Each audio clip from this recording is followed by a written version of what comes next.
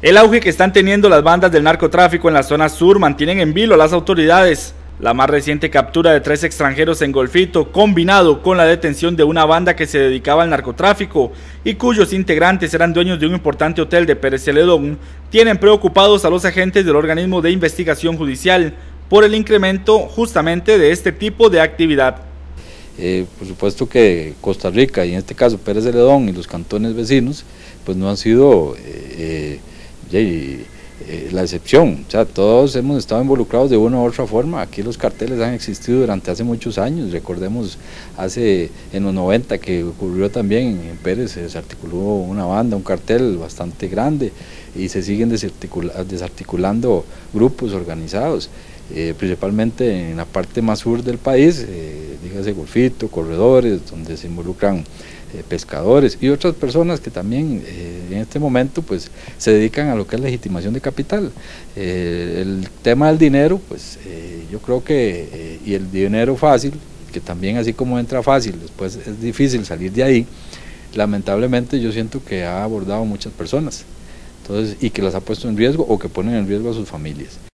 Es por eso que instan a los ciudadanos a denunciar a través de la línea 808.645 aunque piden paciencia a los denunciantes, pues el proceso en este tipo de denuncias es lento por la investigación que conlleva. Siento que es muy importante que la gente,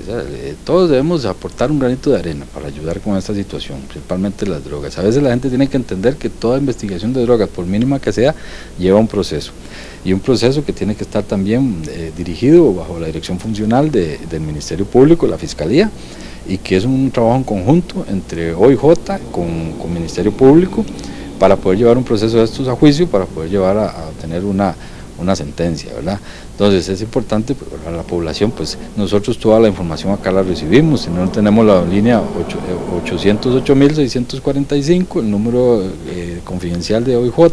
donde se puede llamar, brindar información y que por supuesto nos la van a hacer llegar a todas las direcciones eh, regionales donde, donde tengamos OIJ y tengamos alguna jefatura ahí a cargo pues nos las van a hacer llegar para que nosotros realicemos el debido proceso. Además piden estar alertas a cualquier actividad sospechosa de vecinos de cada barrio, principalmente en horario nocturno, que es cuando suelen darse mayores movimientos de este tipo de bandas. Pues nosotros tratamos de descartar la mayor parte de las informaciones, algunas ya, ya se han investigado, otras van avanzadas y algunas de esas pues son novedosas, pero sí eh, que el recurso que utilizan y que sea eh, veraz la información, no que me voy a aprovechar de una línea confidencial, de una línea de emergencia para... Eh, de, eh, crear falsas expectativas o crear falsos testimonios o crear eh, especulaciones sobre un, tema que no es real. Ahora, esa línea trabaja igual las 24 horas del día y si es importante, igual nosotros las 24 horas del día podemos recibir información y a los vecinos instarlos. O sea, desde el momento que nosotros veamos eh, llegar gente extraña a los barrios en vehículos extraños o alguna persona que pues, opulentamente refleja una opulencia este, desproporcional, ¿verdad? y que empieza a comprar grandes dimensiones de todo, pues yo creo que hay que despertar la alerta. Por Recuerde que los tribunales de justicia permanecen abiertos las 24 horas del día para que los ciudadanos se acerquen a interponer denuncias, por lo que no duden acercarse a fin de frenar a tiempo este tipo de actividad.